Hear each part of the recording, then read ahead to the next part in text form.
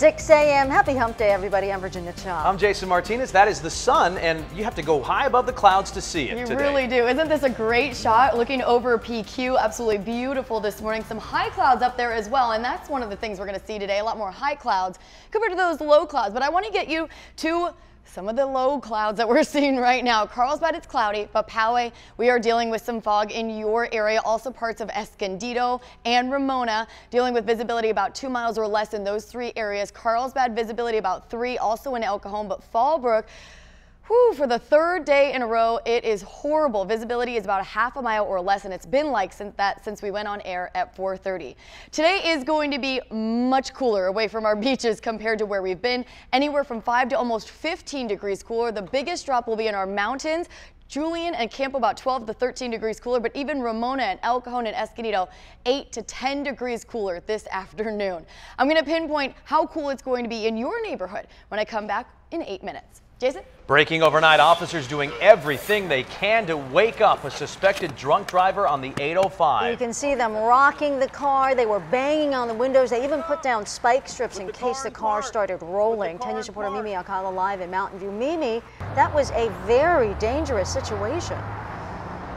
It really was. That man is so lucky no one was hurt and he wasn't hurt. This is at the 805 and Imperial off ramp where he was passed out behind the wheel right there waiting for that light to turn green when he fell asleep. Officers say the call came in around 3. They got here at 305, started banging on his windows, trying his door handles, anything they could to try to wake him up. Wake up, sir.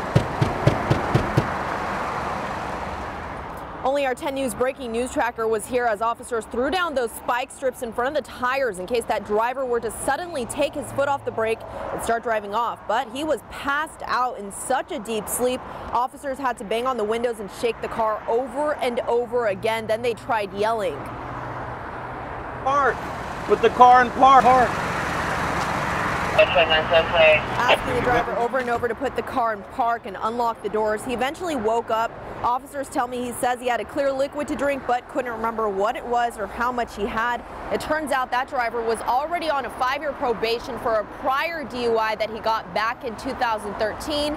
This morning he is facing DUI charges once again. We're live in Mountain View. Mimi Alcala, 10 News. Thank you, Mimi. You know, the video that we just showed you getting a lot of views on our Facebook page this morning. Now, over the past year, you may know photojournalist Paul Anderigan, our 10 News Breaking News Tracker, has captured a lot of dramatic video of several suspected drunk drivers passed out on our freeways. Now, in each case, something a little bit different happened. Officers smashing the window here to get to this woman who's passed out, and her car is actually rolling. In this case, the woman gets out and she's wandering in and out of moving traffic. And in some cases, look down here at the end officers as well as Paul getting to the vehicle to help prevent somebody from being hurt or hurting somebody else. Jason? New developments in the Manchester bombing investigation. Just before 3 this morning, Manchester police announcing they've arrested three people in connection with the terror attack. And it comes as the Prime Minister warns of another possible attack and the country's terror threat level set at its highest.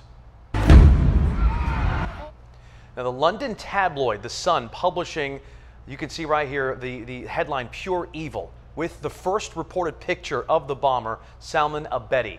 And we're also finding out more about the 22 people killed and the dozens others injured. Here are the faces of some of the victims here. Just this morning, we found out that 15 year old Olivia Campbell was killed. Now, she was so excited when she called her mom during the concert. She was waiting for Ariana to come on, and she was so happy. Um, and she thanked me and said she loved me. And that was the last I heard from her. Georgina Callander was the first to be identified. She's right up here. She's a big Ariana Grande fan. Of course, the youngest killed. You see her picture down here below. That is Saffie Roussos, uh, eight years old. These heartbreaking images have made her really the face of this tragedy. And we've also learned this morning that Martin Hett was killed right here on the bottom. Now, he was separated from his friends right at the end of the show. Can you imagine that? Just separated for that split second. Changed everyone's life. Many people still missing, a lot of parents still looking for their children, Virginia. And holding out hope Yeah. that maybe they were injured and taken to a hospital.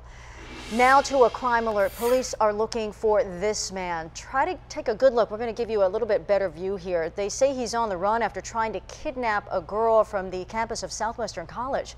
The 16 year old girl was taking a shortcut home from Bonita Vista High when a white truck, that one, pulled up next to her. Police say the driver offered her $200 to get in the front seat with him. As she started to walk away, she says he blocked her path, then got out of the truck and grabbed her. She managed to pull free, run away, and call police. Here in the 10 News Live Center, President Trump met with Pope Francis at the Vatican for the first time. We have new video here of their meeting. They met privately for about 30 minutes and they also exchanged gifts publicly. The president giving the Pope books by Martin Luther King Jr. The Pope gave Trump a medal inscribed with an olive branch. Now, the two have clashed on immigration issues in the past, including the controversial border wall. However, President Trump called meeting the Pope a great honor. I'm Melissa Mecija. Jason, Virginia, back to you. All right, Mel, thank you very much. Even though the president is overseas, plenty going on on the Hill. Capitol Hill live look this morning. We are monitoring a big deadline today. The Congressional Budget Office will release its score for the GOP health care bill. It looks at predicted government savings and how many people could lose their coverage under the GOP health care bill. A bad review could kill it altogether. The little boy, seriously hurt in a hit and run crash, is finally home in his own bed. We have been following Lennox Lake's progress since the crash earlier this month. And take a look. This photo taken just before Lennox left the hospital yesterday. He has a smile on his face, playing with a doggy. He and his family were on their way home from Disneyland when police say Constantino Banda slammed into the family's car. Banda had been deported at least 15 times before that. Lennox family say they're keeping a close eye on him, and as you would imagine, they want to make sure his head injury doesn't become infected. Welcome home to Lennox. I know, he looks great.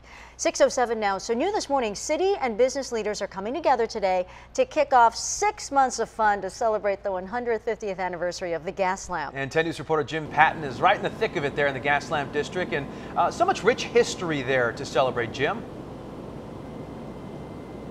Oh, absolutely. I mean, we're going back now 150 years. Celebration officially kicks off this morning with a press conference at 10, but there'll be a big block party called the Wild West Wednesday block party that starts at 5. It's going to be along Island Avenue between 4th and 5th. That's free and open to the public. There's going to be live country music, also a chance to win tickets to the fair because it's part of a celebration to kick off the fair, which starts in less than 10 days.